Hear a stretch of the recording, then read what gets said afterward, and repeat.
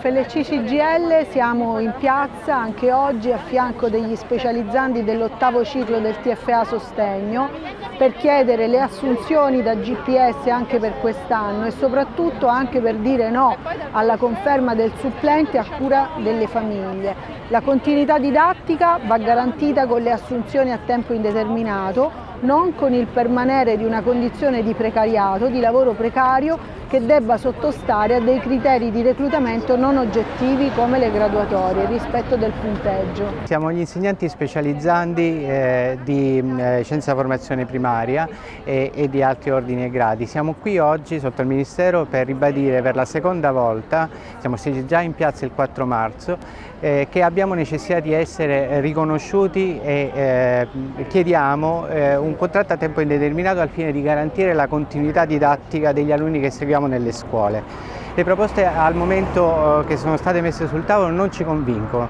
La continuità didattica deve eh, passare attraverso l'assunzione o la messa a bando di posti per il sostegno. Solo attraverso eh, un concorso o il riconoscimento di un percorso diciamo, di specializzazione sul sostegno, cosa che noi stiamo facendo con tanti sacrifici eh, sia economici sia di tempo, noi possiamo garantire la continuità didattica agli alunni con disabilità. Chiediamo soltanto di essere ascoltati e vogliamo che il Ministero prenda atto del fatto che c'è un bacino di, eh, di, insegnanti specializzati e dall'altro ci sia la necessità di inserire eh, persone qualificate all'interno delle scuole, proprio perché la necessità è alta e urgente. Con il mio collega facciamo parte del coordinamento dei docenti specializzanti e specializzati per le attività di sostegno Oggi, come il mio collega ha appena detto, siamo qui per la seconda volta, eh, dal 6 di marzo, e siamo qui anche in rappresentanza di altri Atenei italiani, perché ci siamo uniti in una rete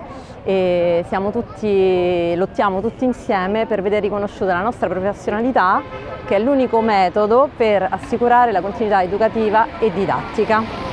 Oggi organizzeremo un flash mob per ribadire la nostra, la nostra volontà, la nostra determinazione e abbiamo un, uno slogan. Solo insegnanti specializzati in Italia, assunti con criteri trasparenti e non discrezionali, possono assicurare un'efficace continuità didattica ed educativa